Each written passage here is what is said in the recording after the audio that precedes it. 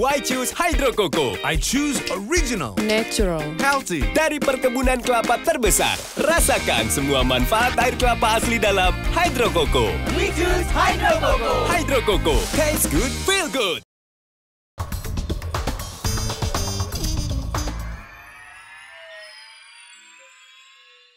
Dipersembahkan oleh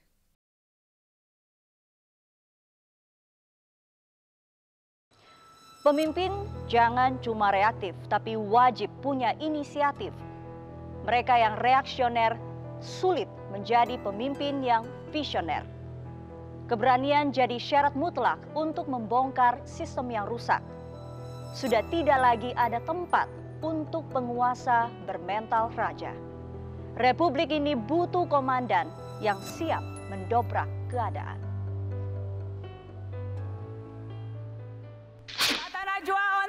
Hadir spesial di Universitas Muhammadiyah Malang. Inilah Mata Najwa. Kok-.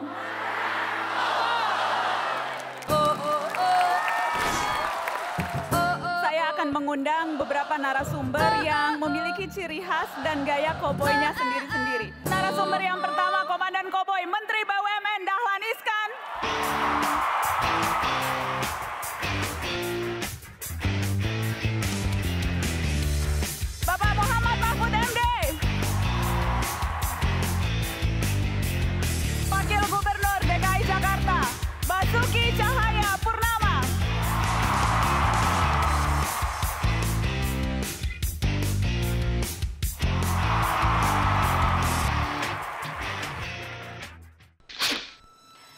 Tiap pemimpin punya gaya sendiri, tak jarang memancing kontroversi.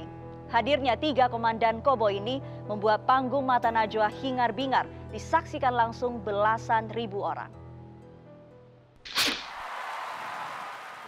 Saya ingin kita bicara soal tiga komandan koboi ini dari segi em, bagaimana menyiasati birokrasi.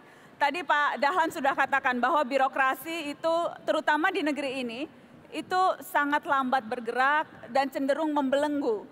Bagaimana kemudian bisa menjadi koboi kalau kemudian yang digembala itu bukan sapi yang lincah atau kuda yang lincah tapi justru siput. Pak Dahlan?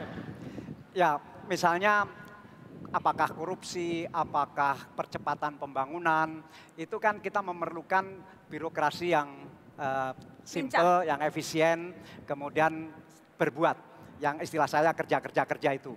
Nah, tetapi menunggu kan juga terlalu lama, karena itu saya memberanikan diri, meskipun aturannya belum ada, saya mengurangi jumlah pejabat di Kementerian BUMN, itu saya kurangi 20 persen. Dan tidak apa-apa, ternyata kita terlalu banyak punya pejabat. Terlalu banyak yang disebut pejabat struktural itu. Kalau soal pengeluaran-pengeluaran nggak seberapa. Tetapi ruwetnya persoalan itu lebih besar lagi. Misalnya mestinya satu program bisa selesai bisa dimulai tahun ini, tapi karena ruwet maka tidak bisa dimulai tahun ini, baru bisa dimulai tiga tahun lagi. Ya. Kerugian dua tahun itu jauh lebih besar dibanding soal gaji atau soal fasilitas. Karena keruwetan. Itukah yang Anda temui Pak Ahok keruwetan dan bagaimana cara Anda mengurai keruwetan birokrasi? Karena ya percuma menjadi koboi kalau kemudian eh, harus berada di pagar yang sangat tinggi. Ya, jujur saja sebetulnya PNS itu tidak semua buruk.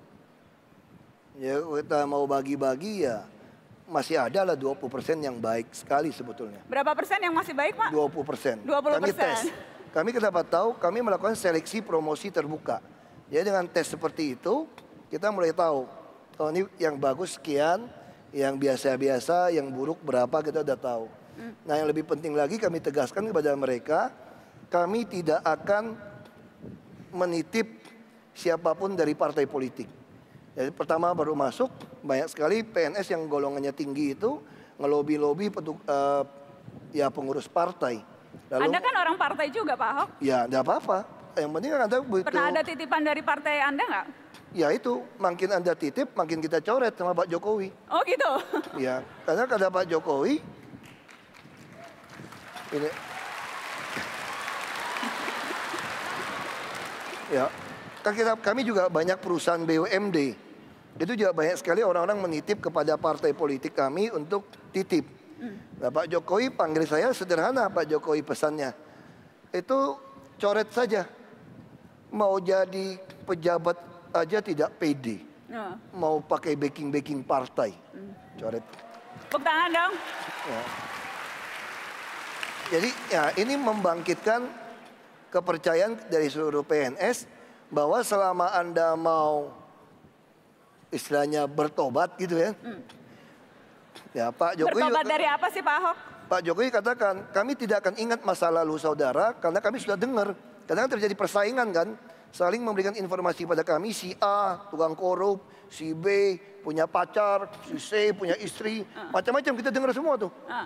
Ya kata Pak Jokowi, kami tidak mau dengar itu semua. Karena dasarnya kita tidak ada satupun orang baik, kata Pak Jokowi. Apa nasihat terpenting yang pernah Anda bertiga terima dari orang lain dan siapakah orangnya itu? Pak Mahfud? Jadi begini, kalau kita ingin berjuang, jangan terikat kepada fakta yang ada di depan kita. Artinya misalnya, aduh faktanya begitu, saya tidak mungkin. Itu nasihat yang pernah saya terima, kalau Anda ingin berhasil berjuang, berusahalah membuat fakta baru, membuat fakta sendiri. Jadi jangan misalnya sekarang, ah si A itu kuat, ah si B itu hebat ini. Faktanya begitu saya tidak akan bisa. Tidak, kita harus menyatakan saya akan membuat fakta bahwa fakta itu tidak benar. Nasihat itu saya dulu terima dari Presiden Abdurrahman Wahid. Presiden Abdurrahman Wahid. Sekarang Nah, ada gagasan, Banyak ada orang gagasan tidak percaya partai pendanaan, politik, Mas Budiman. pendanaan, Mas Budiman orang pembiayaan tidak percaya partai politik sekarang. Dipersembahkan oleh